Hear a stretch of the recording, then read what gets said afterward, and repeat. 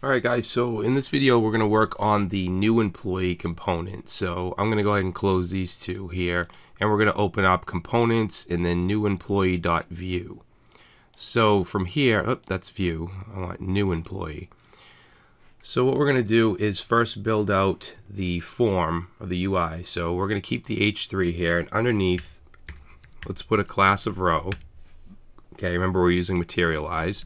We're going to have a form tag, not going to have an action. What it's going to have is an event handler. So we're going to say at submit. And then we can also do dot prevent, which will prevent the form from actually submitting. And we're going to set this to a function that we're going to create, or a method we're going to create called save employee. And then let's also just give this a class of col and then S12, so a 12 column. All right, and then inside the form, we're going to have a row for each field. So inside the row, we'll have a class of input dash field, as well as a class of col, as well as a class of S12. And inside here, we'll have our input, which will be the type of text. Now, we want to bind our data here, so we're going to say v model, v dash model, which is similar to ng model if you come from an Angular background. And we're going to set this to employee underscore ID. We're, going, we're also going to add some validation here and make this required. Oops. So under that, we'll put a label. We don't need a for, just a label. And then we're going to say employee ID number. All right, so I'm going to save that. And now you'll see we have our field here. We're going to get an error because of this. It doesn't yet know what this is, but don't worry about that yet. So we're going to have a couple other fields. So I'm going to copy this div with the class of row. And we're going to go ahead and put in three more. So under the employee employee ID, we're going to have the name. We're going to change the V model to name as well. And let's see, the next one will be the department. So I'm going to change the label to department. We'll change the V model to DEPT. And then let's see, we're going to change the last one to position. And we'll change the V model to position. So that gives us all our fields. Now we need a button. So we're going to go under the last row which is right here, and we're going to put in a button, and I'm going to give this a type of submit, and let's also give it a class of btn. And we'll just say submit. We're also going to have a cancel button to go back. Now that's going to be a router link to the home page. So we'll say to slash. We'll give this a class of BTN and BT um, gray. And we'll say cancel. So let's save that, and there's our form. Now what we want to do is go down here. We want to bring in our database, so bring in our Firebase init. So we're going to say import db from dot slash Firebase init. And we're going to go into our data return and just like we did on the view page, we're going to initially set everything to null. So ID will be null, name null, department null, and position null. Okay, and then we're going to have some methods. So we'll go where the data ends and say methods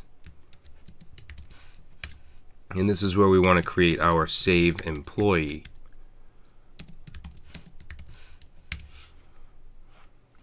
So to save the employee, we want to take the db dot collection. We want our employees collection.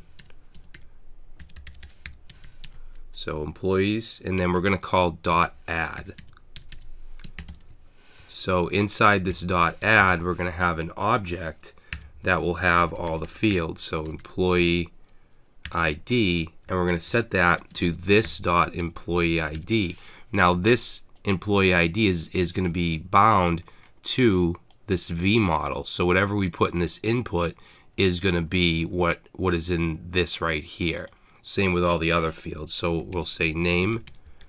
We'll set that to this dot name. We'll set the department and we'll set the position as well. Okay, now this add is, is also going to return a promise just like get. So we're going to say dot then. And inside here, let, it's, let's say doc reference. And we're going to set this to a code block. And all I want to do here is redirect. So I'm going to say this dot router, money sign router dot push and let's just redirect to slash. Okay, now you can also do the dot catch if something goes wrong. So we can say catch, and we can say error, and we can set that to just whatever, console log the error. Actually, we should be able to do this without curly braces as well, like that.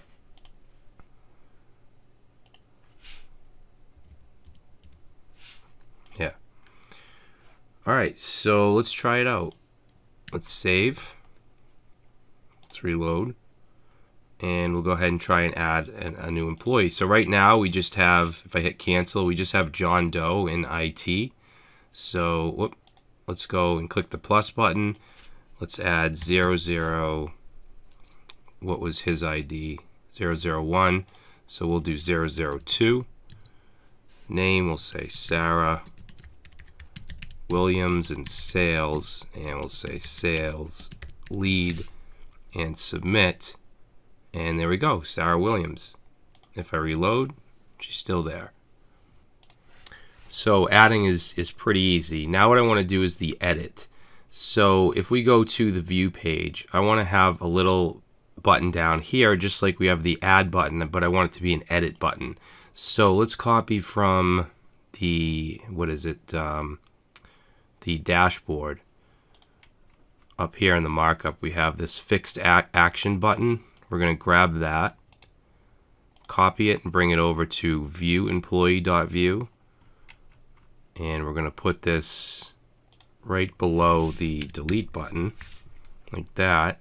Now the link is going to be different. Since we're using a parameter, we need to do a bind. So we're going to say vbind we want to vbind 2 and then set that to some curly braces and the name so the name is going to be edit dash employee which we defined in the router and then the params will be an object and we want to say excuse me employee ID we want to set that to employee ID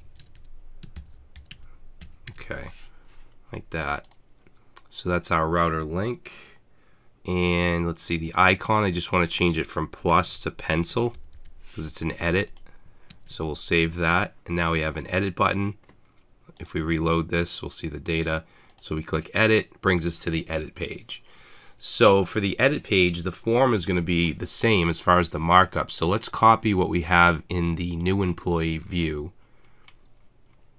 So we'll copy uh, everything that's in the div.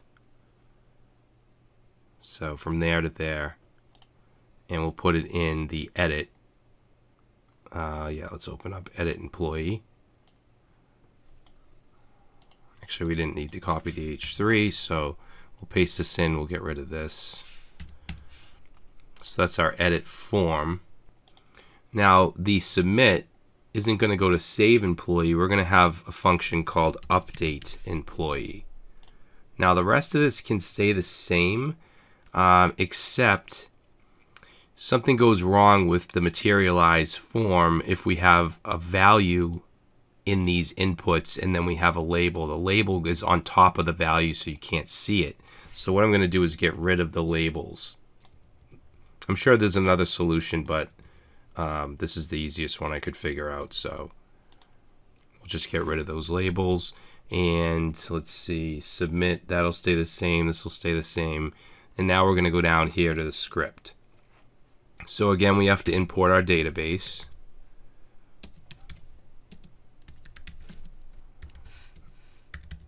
We'll say Firebase init. And inside the data return, we're going to set everything to null.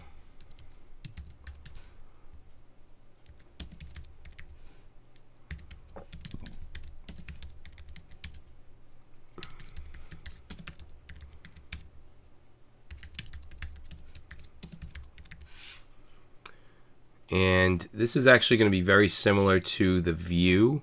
Actually, I could probably just copy everything from view employee because we want to use this before route enter. We want to use the watch and we want to use the fetch data.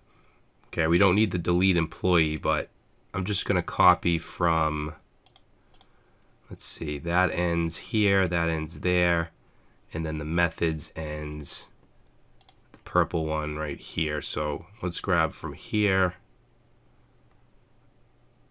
to here and copy. Okay, then we'll go right under the data and paste that in. And we can get rid of the entire delete employee. We don't need that and that comma. Uh, the rest of this stuff, let's see, before route enter. Um, yeah, that's going to be that's all going to be the same. Then we want to fetch the data. Uh, yeah, fetch the data. Then we're setting the properties, and these properties are going to be linked to these V models in the form, so they should fill the, the inputs in the form. So let's go ahead and save this and reload. And there we go. So now we have the form filled. If we go to John Doe, and go to edit, we have all of his fields filled in here. So now we want to handle the actual update, which is when we click submit. So in addition to fetch data, which ends right here, we're going to put in update employee. So for this, uh, let's see, we could actually copy the fetch data, collect this DB collection, which ends here. I'm going to grab that because we want to first get it. We want to get the correct employee, get the snapshot. We want to do query snapshot for each. And then instead of doing this, instead of just setting properties like this, we're going to say doc.ref.update. Okay, just like remember we did doc.ref.delete we're going to do update and then pass in an object. And we're going to say we want to update, for instance, the employee ID set to this dot employee ID, which is whatever is in the input. Okay, remember this is bound to the input. So we want that. We want the name set to this dot name, the department, and the position.